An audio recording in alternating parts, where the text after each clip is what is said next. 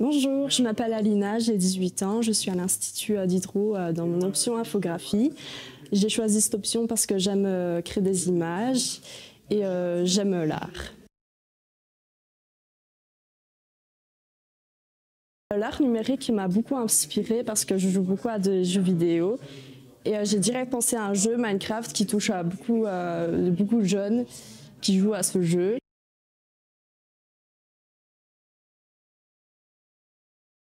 J'ai direct pensé à la peinture parce que je fais de la peinture euh, du, côté de mon option.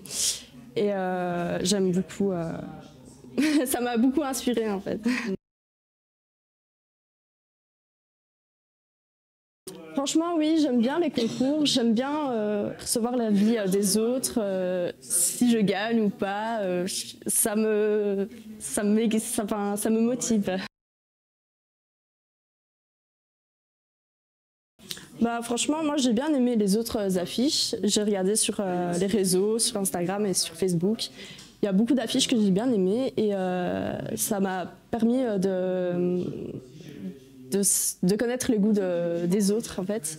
Et ça, j'ai de l'inspiration quand je vois les affiches des autres et c'est ça que j'ai aimé en créant des affiches, etc.